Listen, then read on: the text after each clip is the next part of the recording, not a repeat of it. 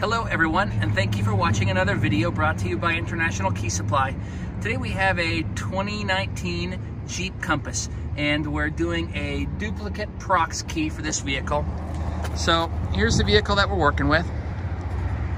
So there's a common solution that a lot of folks use which is the Smart Pro and the ADC uh, 2012 cable.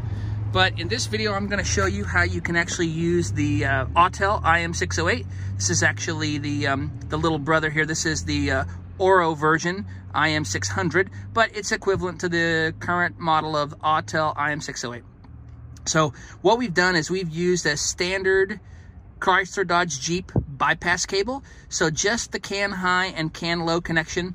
And uh, my cables might be a little bit different than what you're used to, but the way that uh, mine is set up, I have a OBD2 Y cable, and on one side of that Y cable, I have the VCI for the IM608 setup, and on the other side of that Y cable, I have um, my connection for CAN high and CAN low. And as you can see, it's running throughout the vehicle here. It's a little tough to see maybe across the back seat. And what we've done is we have pulled this panel down to locate the RF hub. And we have probed the CAN high and CAN low wires here on the RF hub. We've not disconnected anything, we've just probed the wires. And on this particular setup with this RF hub, uh, dark blue is CAN high and yellow is CAN low. So we've probed those connectors and then we have connected everything just as I've told you here. So we have the 608 on. We're gonna do automatic VIN detection. We are having a working key for this car. So we're gonna go ahead and turn the ignition on by pushing the push to start. Get the ignition on there. We're gonna do auto VIN detect.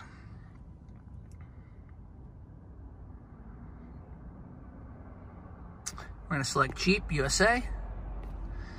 And as you know, without this bypass cable, you can get the VIN from these vehicles. So I wanna go ahead and just do an immobilizer status scan so you can see that we are getting full connectivity to this vehicle and bypassing the security gateway.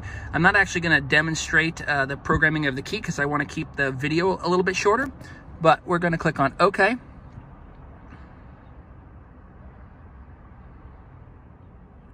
So now we're getting the warning here from Autel telling us we need to use their 12 plus 8 cable, which you can use. You can look at the video or the pictures here on screen to tell you where the security gateway is, and you can find it up under the dash, disconnect it, connect this 12 plus 8 cable, and it'll work this way.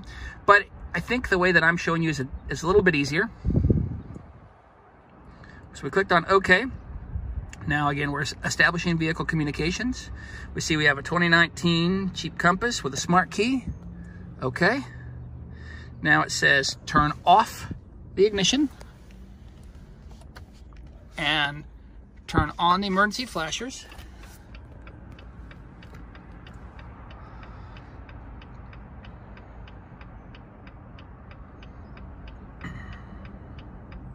And as you can see, there is the PIN code for this vehicle, 68585.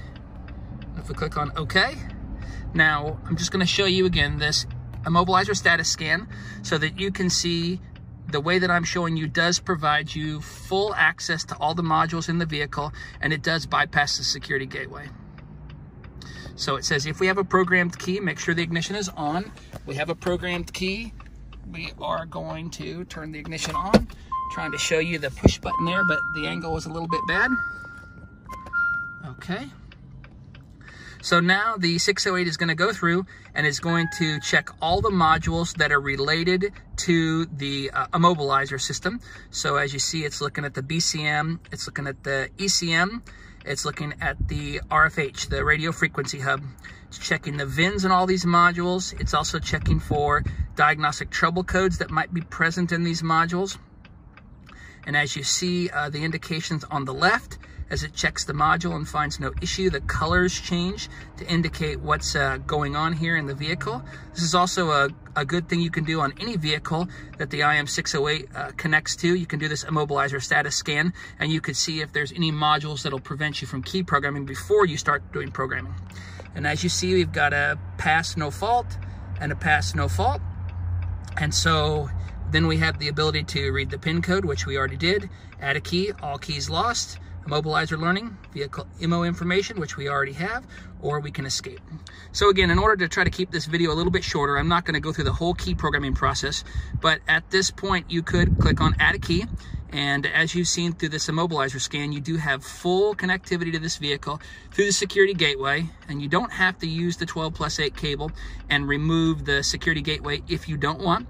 You can simply use your standard Chrysler Dodge Jeep bypass cable and connect to CAN high and CAN low in the RF connector. Well, we appreciate you watching this video, and uh, have a great day, and thanks again.